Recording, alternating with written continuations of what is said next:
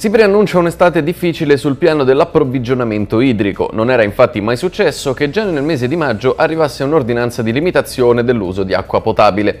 Il provvedimento è stato firmato ieri dal sindaco tedesco che ha preso spunto dall'allarme lanciato dal gestore del servizio idrico che ha parlato di portate minime attese dalle fonti di approvvigionamento come conseguenza delle poche piogge registrate nei mesi scorsi. Se il buongiorno si vede dal mattino, ci attende un'estate all'insegna della grande sete.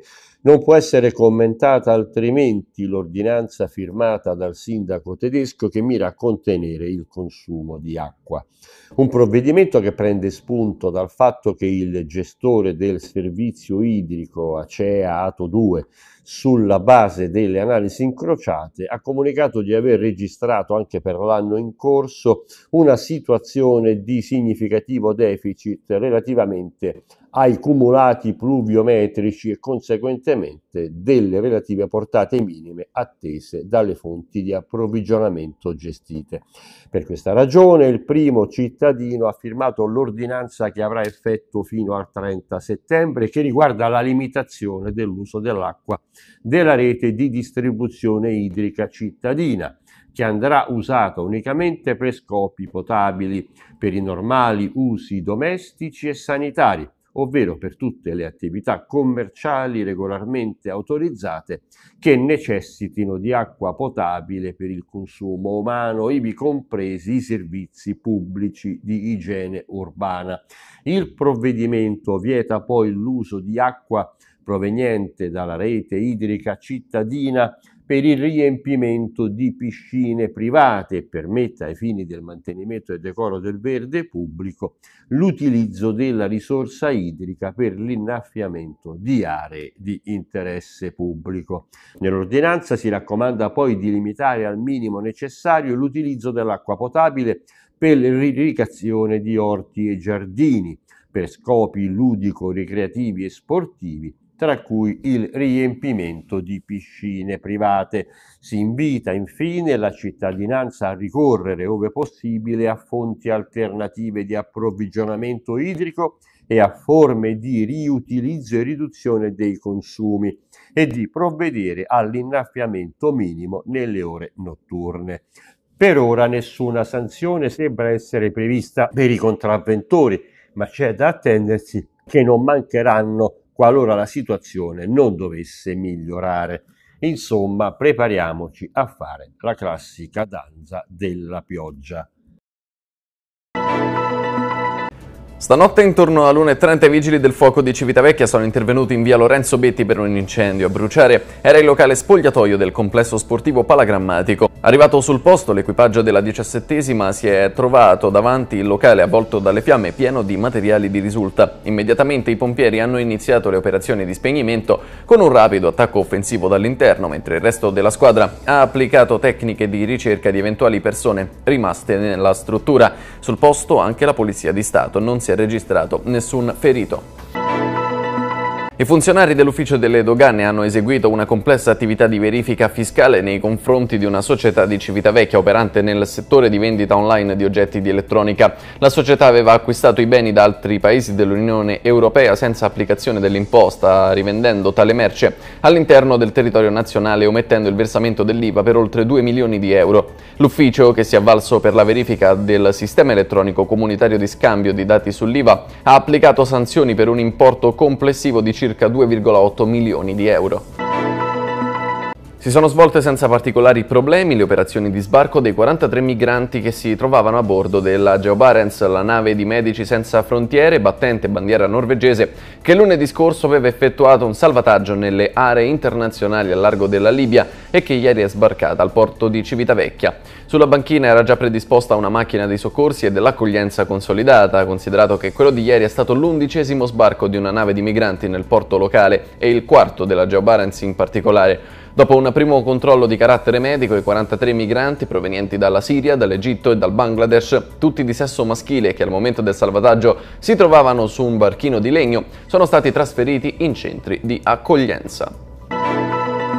Arriva un nuovo servizio per le migliaia di turisti che quotidianamente transitano da Largo della Pace. Lunedì prossimo si svolgerà il sorteggio delle 12 postazioni già allestite e che fungeranno da box informazioni per tour operator, agenzie di viaggi e enti locali, i quali avranno modo di illustrare ai croceristi iniziative, itinerari e servizi che li attendono nel territorio di Civitavecchia. Un sorteggio per assegnare le posizioni all'interno dell'area di Largo della Pace è quello in programma lunedì prossimo prossimo alle 10.30 a Molo Vespucci e riguarderà i 12 box che sono stati allestiti al fine di fornire attività di informazione, promozione e vendita di proposte turistiche e servizi alle migliaia di croceristi in transito ogni giorno. Le 12 postazioni della dimensione di poco più di 5 metri quadrati e situati in un'area di 20 metri quadrati ciascuna sono state già ripartite a diversi richiedenti interessati. Quattro sono andate a soggetti cosiddetti istituzionali, ovvero enti locali che vogliono fare promozione delle loro realtà e aziende di trasporto che quotidianamente sono al servizio dei croceristi, comprese quelle che gestiscono i bus scoperti che si vedono transitare in città da qualche anno a questa parte. Gli altri otto invece sono stati assegnati ad agenzie di viaggi e tour operator che potranno fornire informazioni ai turisti e distribuire materiale promozionale riguardante pacchetti o altro. Una delle postazioni facente parte di un gruppo di due, ma per le quali sono arrivate tre assegnazioni, sarà cointestata tra due soggetti anche in questo caso si andrà a un sorteggio. Gli assegnatari avranno poi dieci giorni di tempo per inviare la documentazione necessaria al Ministero delle Infrastrutture e dei Trasporti. Lunedì prossimo si chiuderà quindi un iter che si è rivelato più lungo del previsto, considerato che era iniziato a ottobre e termina a stagione delle crociere già iniziata. Comunque si tratta di un altro tassello in funzione dei servizi che Civitavecchia riesce a fornire ai tanti croceristi che sbarcano dalle navi ormeggiate in porto, anche se su questo specifico versante c'è sicuramente ancora molto da fare. Approvata in giunta comunale la delibera di adozione del piano di eliminazione delle barriere architettoniche denominata PEBA, un elaborato importante che riguarda tutta la città, compresi gli edifici pubblici, e che dovrà proseguire il suo iter legato alla fase di consultazione e recepimento di osservazioni, benché sia stato già illustrato ai rappresentanti del tavolo tecnico per la cultura dell'agibilità per poi essere definitivamente approvato dal Consiglio Comunale. Civitavecchia non poteva rimanere priva di questa importante pianificazione, dichiara il vice sindaco Manuel Magliani, che rappresenta un segno di civiltà che dovrà improntare tutte le opere che verranno realizzate, nonché progressivamente adeguare tutta la città in modo da garantire pari accessibilità a tutti. In occasione del 250 anniversario della fondazione del Corpo, l'amministrazione comunale ha tributato la cittadinanza onoraria al locale gruppo della Guardia di Finanza, a testimonianza del profondo legame con le istituzioni e la comunità locale. Alla cerimonia tenutasi presso l'aula consigliare Renato Pucci del palazzo in cui ha sede il comune hanno partecipato le massime autorità. Dopo la proiezione di un video realizzato per la ricorrenza dei 250 anni dalla fondazione della Guardia di Finanza è stata data lettura dell'atto deliberativo di conferimento L'intervista. Comandante Stella, giornata speciale con la celebrazione della Guardia di Finanza, 250 anni e soprattutto la cerimonia di cittadinanza onoraria da parte del Comune di Civitavecchia. Assolutamente una, un gran bel riconoscimento, il sindaco lo aveva già annunciato in occasione del concerto tenuto dalla banda del corpo al termine della crociere e, ed è un bel evento anche perché veramente come ho avuto modo di dire nei ringraziamenti va a impattare su quello che è la dimensione sociale della Guardia di Finanza, cioè la Guardia di Finanza che deve essere vicino al cittadino che con tranquillità e fiducia si deve sempre rivolgere insomma, a noi per qualsiasi tipo di problematica. E, ripeto, noi vengono persone a fare denunce, querele, esposte, a volte anche solo per un consiglio. Noi ci siamo e, e abbiamo, ecco, come ho detto, non sono mai parole al vento, diamo sempre una risposta a quello che il cittadino ci viene a dire. Quindi ecco, con fiducia eh, ecco, questo riconoscimento, no, la cittadinanza ci rende concittadini, quindi eh, proprio ad, ad evidenziare questo valore di vicinanza eh, verso le persone. E come ho detto il topic GDF è hashtag noi con voi che ha un significato cittadini anche siete proprio a Corso Centocelle siamo collocati al centro Palazzo Storico eh, Palazzo Bruzzese bellissimo eh, nel salotto de, no, di Corso Centocelle alle spalle il quartiere del Ghetto altro quartiere storico quindi anche fisicamente eh, siamo a disposizione del, dei, dei, dei cittadini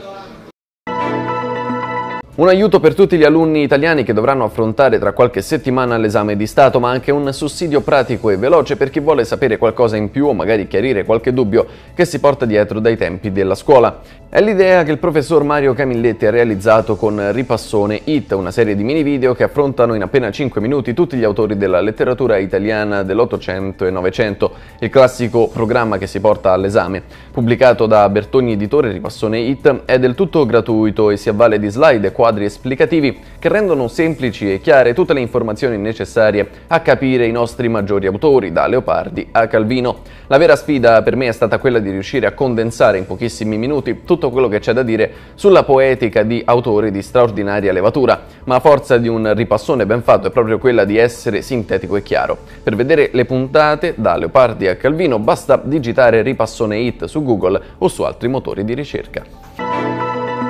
Dopo uno dei capolavori di Edoardo, Napoli milionaria, reduce da un grande successo, ecco Sugo Finto, commedia agrodolce di Gianni Clementi tra comicità e riflessione. Questo è il nuovo appuntamento al Teatro Nuovo Sala Gasman in scena domani alle 21 e domenica alle 19. Sugo Finto è la storia di due sorelle zitelle, Addolorata e Rosaria, interpretate da Monica Lugini e Cristiana Stazzonelli. La regia è di David Marzullo, che gestiscono una merceria al centro di Roma. Il loro è un rapporto complicato fatto di continui battibecchi a causa delle visioni opposte della vita, ma a prevalere è sempre Rosaria, la più forte delle due, con addolorata costretta a subire. Dopo una regular season di fughe, rallentamenti e colpi di reni finali, a tempo di playoff per la NC Civitavecchia che comincia la sua avventura nell'epilogo del campionato di Serie B. Domani alle 20.15 si gioca a gara 1 al Palagalli contro i Ranger Vicenza, non proprio un avversario particolarmente conosciuto per la squadra di Aurelio Baffetti che giocherà questi playoff senza grossi fronzoli, con la voglia di divertirsi e l'ebbrezza di compattarsi con l'ambiente e con tutta la città. Al termine di due mesi passati praticamente ad aspettare e ad allenarsi, la Comal Civitavecchia Volley Academy può fare sul serio per i playoff del campionato di Serie C. C'è un gironcino a tre da vincere per il gruppo di Alessio Pignatelli che inizierà a viaggiare sulla sua strada andando a giocare a Colleferro contro la Dea per l'incontro che prenderà il via domani alle ore 16. Alessio Pignatelli, Veronica Guidozzi, arriva la parte fondamentale di questo campionato, dopo due mesi che praticamente gli aspettiamo, ci sono i playoff, si va a giocare a Colleferro contro la Dea. Come arrivate a questo incontro? Perché adesso vi giocate veramente tanto. Bene, siamo pronti, siamo arrivati in ottima forma grazie al nostro preparatore atletico Francesco Capparello. Le ragazze hanno lavorato tanto, si meritano di giocare e disputare questi playoff. Poi il risultato farà parte di quello che sarà il campo ce lo dirà il campo se siamo migliori di Dea Volley. Capitano, questi giorni hai fatto anche una considerazione, hai detto che già un obiettivo l'avete raggiunto, ovvero quello di lavorare insieme, di andare avanti insieme e di fare in modo che questo gruppo possa arrivare ai risultati più importanti di questa stagione in questo modo. Siamo cresciute molto, l'abbiamo fatto insieme, un gruppo giovane comunque che chiaramente ha avuto bisogno di tempo per amalgamarsi e credo che arriviamo a questo primo incontro importante nel migliore dei modi. Cosa ha fatto di questa squadra per poter eh, giungere a questi livelli così fondamentali perché adesso praticamente ogni partita è dentro o fuori. Sicuramente abbiamo lavorato molto bene, merito nostro, merito del gruppo, ma merito dell'allenatore, del preparatore atletico. Abbiamo lavorato molto bene insieme, quindi sicuramente questo ci porta ad essere pronte. Coach, quindi la partita fondamentale, su cosa lavorerete in particolar modo per poter sconfiggere la Dea Volley che ultimamente ha visto qualche sconfitta, però comunque sia arriverà prontissimo a questi playoff. Loro hanno due riferimenti importanti, uno è l'opposto, uno è lo schiacciatore che, gioca, che sono giocatrici di buon livello, sicuramente la C è, è, per loro un campionato che è un po' stretto. Cercheremo di arginare un po' loro due e poi cercheremo di fare la nostra partita in battute e ricezione che sono un po' secondo me l'angolo della bilancia. Ritorna a giocare in casa dopo due trasferte di fila la Stema Arnovata cestistica impegnata nella pool salvezza di Serie C domani alle 18 palla 2 al Pala Riccucci per la gara della seconda giornata di ritorno contro Basket Roma che ha inflitto ai rossoneri una delle tre sconfitte in questa parte di stagione. Vincere è importante per avvicinare una salvezza che attende solo di essere ufficializzata e per farlo bisogna portare a casa il successo che chiuderebbe qualsiasi discorso con quattro giornate di anticipo. Finisce senza grossi sorrisi il campionato di Serie C per l'Ipertecnica Centumcelle che giocherà domani alle 14 a Silvi Marina in provincia di Teramo contro il fanalino di coda Rosetana. È già tutto deciso per il set di Roberto Barbaro che è ancora dentro la delusione per aver mancato la qualificazione ai playoff. Formazione quasi del tutto rivoluzionata e composta per larga parte da ragazzi del settore giovanile con la società che si sta già muovendo per organizzare la prossima stagione.